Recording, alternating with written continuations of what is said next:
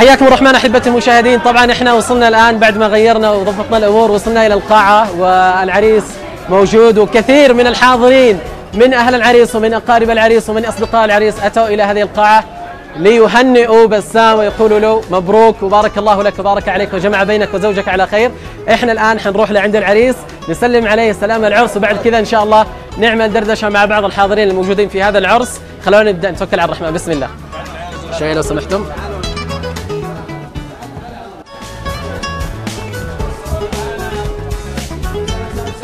السلام عليكم ورحمة الله وبركاته. حيا الله العريس أهلا. بارك الله لك وبارك عليك. وجمع بينك وزوجك على خير إن إن شاء الله. يا رب. طبعا العريس منور ما شاء الله. الحاضرين. الكل أتى إلى هذا العرس ليهني ويبارك لمن؟ بسام الجبل. نعم. بسام الجبل. وهذا العرس أنشئ أو أقيم وكانت هناك فكرة أن يقام هذا العرس بلا قات. الكل هنا يؤمن بأن القات هو أحد أسباب يعني ما نقول تخلف إنما هو أحد أسباب يعني خراب خراب اقتصاد البلاد كما يقول أحد الحاضرين هنا. لكن نسأل الله عز وجل أن يعني يوفق هذه البلاد لكل خير. ونحن آه، نقول للعريس بارك الله لك وبارك عليك وجمع بينك وزوجك على خير. ندعو الله عز وجل أن تعيش حياة كريمة مليئة بالسعادة وأن يرزقك الله عز وجل الذرية الصالحة إن شاء الله. إحنا فقط حابين نسمع كلمة من من؟ من العريس. الغالي. للحاضرين هنا جميعا ثم للمشاهدين. المك... الاثنين الميكروفونات نشكر الحضور جميعا نشكر كل من حضر وساهم ونشكر الأستاذ عمار والشيخ حيدر حسن وكل من حضر. ونشكر قناه السعيده على هذا وإن شاء الله نصار رسالة لكل شباب إنه يفعل عرسه بدون قات إن السبب الرئيسي في تدهور البلاد بلادنا الحبيبة اليمن الغالية هو القات كلام جميل. تحية للعريس. تحية للعريس. اذا إحنا بنخلي العريس يجلس ياخذ راحته وكل واحد يكون في مكانه إحنا بإذن الله عز وجل حنحاول ندردش أو حنمشي لبعض الحاضرين هنا ونتكلم معاهم. آه، رسالة أو كلمة يقدموها للعريس وكلمة وكلمة أو رسالة حول القات. اذا نخلي العريس ياخذ راحته. تفضل يا عريس. نعم. تفضلوا يا جماعة. شكرا أولا لحضوركم الطيب هذا. آه، أنا فقط يعني أحب أسمع منك آه، كلمة تقولها أو تهنئة للعريس الغالي. ثم بعد ذلك نسمع منك رسالة آه، حول إقامة العرس بلا قات. برأيك إيش الهدف من إقامة أعراس بلا قات؟ ما ما الهدف من إقامة حملات يعني ضد القات؟ تفضل يا شيخ. أهلا وسهلا بالجميع. ثم نقول لعريسنا كما قال الرسول صلى الله عليه وسلم بارك الله لك وبارك عليك وجمع بينكما على خير. فاهلا وسهلا بالقناة السعيدة حياك الله. وبالضيوف الكرام وبكل الحاضرين. نقول لهم أهلا وسهلا في عرس آل الجبل. فحياكم الله جميعا. فيما يخص ال- سؤالك عن عرس بلاقات يا أخي الكريم الصراحة نتمنى نتمنى من كل يعني من كل قلوبنا أن يكون هذا العرس يعني آه، فاتحة. نعم. فاتحة خير لأكثر من عرس يكون بلاقات أحب آه، أن أهنئ آه، أخي ورفيقي وصديقي بسام الجبل. صانع الحياة الأول. وأقول له ألف ألف مبروك. وإن شاء الله من عطاء إلى عطاء. وأتمنى لك حياة زوجية سعيدة بإذن الله تعالى.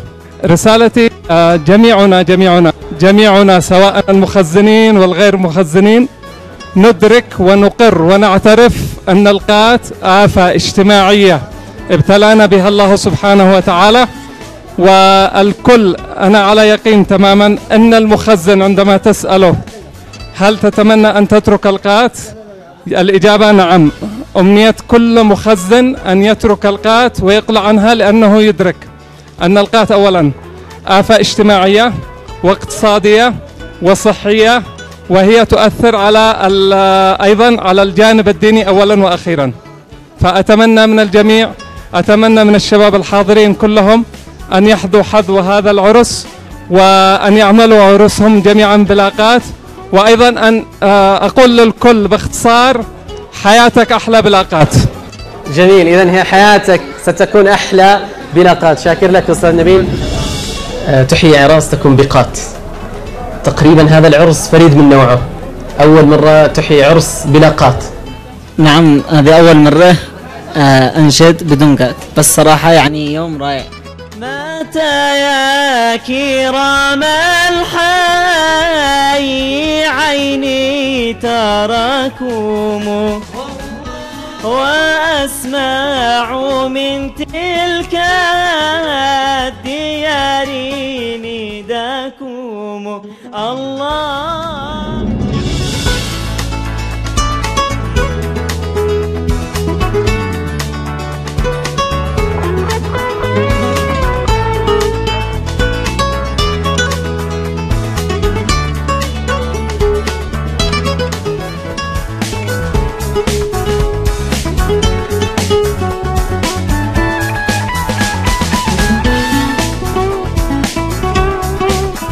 كان الكثير من الحاضرين الذين أتوا ليهنئوا العريس بسام منتظرين. هذه اللحظات الجميلة اللي هي الزفة الليلية. طبعا آه، بفضل من الله عز وجل تساقطت الأمطار. بإذن الله عز وجل يكون يوم خير وبركة للعريس بسام. نسأل الله عز وجل أن يبارك له ويبارك عليه ويجمع بينه وبين زوجته على خير بإذن الله عز وجل. يا رب من قلب صادق يا رب. زوج كل عازب آمين. إحنا الآن طبعا في الزفة. آه، في نهاية هذا اليوم الآن هي ال- اللحظة التاريخية. اسمحوا لي أن أقول لحظة تاريخية لبسام إن شاء الله. سينتقل من حياة العزوبيه إلى حياة الزواج. إحنا الآن نعيش معه هذه اللحظات الأخيرة في هذه الزفة الجميلة. حندخل مع بعض ونسلم عليه ونفرح معاه إن شاء الله. ونسأل الله عز وجل أن يجعل حياته سعيدة. خلونا نتحرك مع بعض. بسم الله.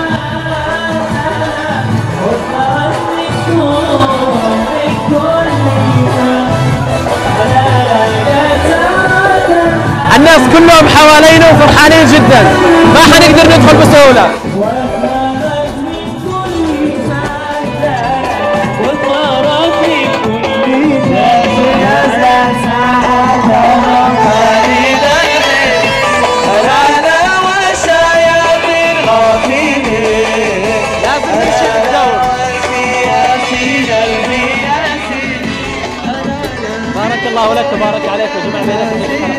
يا رب.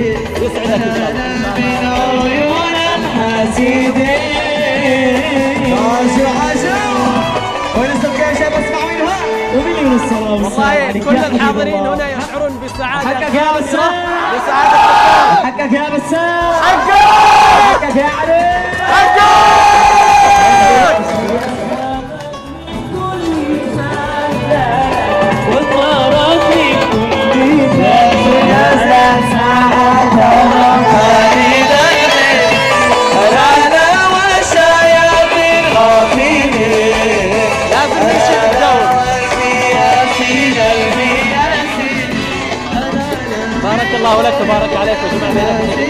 رب يا رب.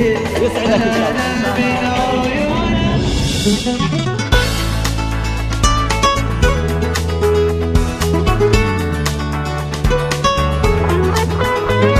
إليك ما قال المستشرق الذي عرف على دين الإسلام دين البشرية السمحاء البروفيسور مونتيه. الإسلام في جوهره دين عقلي. فتعريف الإسلام العقلي بأنه طريقة تقييم العقائد الدينية على أسس من المبادئ المستمدة من العقل.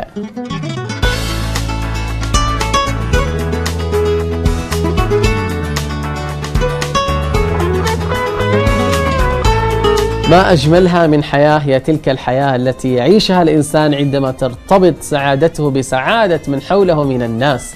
فتكون تكاملا عقليا روحانيا عجيبا وتتحول الأجساد المتفرقة إلى جسد واحد متصل ببعضه البعض. فإذا اشتكى منه عضو أي فرد تداعى له سائر الأجساد دعاء له وتعاونا ومساعدة بكل ما تجود النفس لجسدها هي. ويتكون بذلك جيل خالي من الأنانية وحب الذات ويمتلئ فيها الخير والتعاون على البر. والتعاون على التقوى. أحبكم الله لتعليقاتكم ومقترحاتكم. تابعونا على صفحتنا في الفيسبوك. قناة السعيدة حياة الناس. إلى أن نلقاكم ونتمنى منكم خالص الدعاء خاصة وأنتم ساجدون في رعاية الله.